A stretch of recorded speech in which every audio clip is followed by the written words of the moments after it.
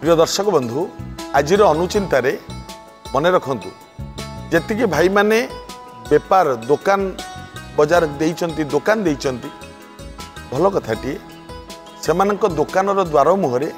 গোটিয়ে স্বস্তিক চিহ্ন অঙ্কন করতু স্বস্তিকর চারিবাহু ইয়ে বিষ্ণুকর চারিবাহু সহিত সমান মনে রাখবে স্বস্তিক চিহ্ন অঙ্কন কলে